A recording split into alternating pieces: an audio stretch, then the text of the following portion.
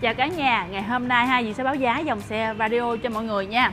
Thì à, đầu tiên ở đây có một chiếc Vario mẫu cũ nè Con này thì màu đen nhám, mâm vàng đồng nha. Thì chiếc này là Vario 150 đời 2018 Và giá bên cửa hàng là 62 triệu đồng. Tiếp tục kế bên đây ha Chiếc này màu cực kỳ nổi luôn Màu xanh lá cây nha mọi người. Thì con này là Vario 125 Và cũng đang có chương trình giảm giá nha. Chiếc này thì giá đúng là 38 triệu 500 và đang có trình giảm giá là còn 37 triệu đồng nha. Rồi kế bên đây thì cũng có một em Vario màu xanh dương nha.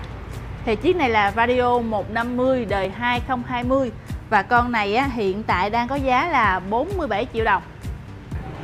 Tiếp tục là em Vario màu xanh đen nha mọi người. Con này à, đời 2021 Vario 125 xe góc phố luôn nha. Giá là 38 triệu 500 và đang có chương trình giảm giá là còn 38 triệu đồng. Kế bên đây là một con màu vàng đen nè. Chiếc này à, 125 đời 2021 luôn. Giá là 38 triệu đồng. Ở đây sẽ có một em Vario 125 đời 2022 nha cả nhà. Con này, á, thì à, giá là 39 triệu Nhưng mà đang có chương trình giảm giá là còn 38 triệu 500 nha. Và đây là một chiếc là xe lít nha mọi người. Con này là Vario lít 125 thì à, đang có chương trình giảm giá là đời 2021 65 triệu đang giảm giá là còn 67 triệu giảm giá còn 65 nha xuống đây thì còn hai mẫu nữa nè. Ở đây tiếp tục vẫn là xe lít nha mọi người. Chiếc này là lít mẫu cũ 125 phân khối. Xe này thì cực kỳ hiếm luôn.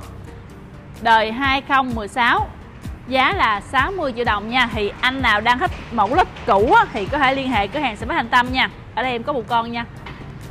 Rồi tiếp tục với mọi người một chiếc Vario mẫu cũ nữa nè. Chiếc này là 150 đời 2017 và giá bên cửa hàng là 62 triệu và đang có chương trình giảm giá là còn 59 triệu nha.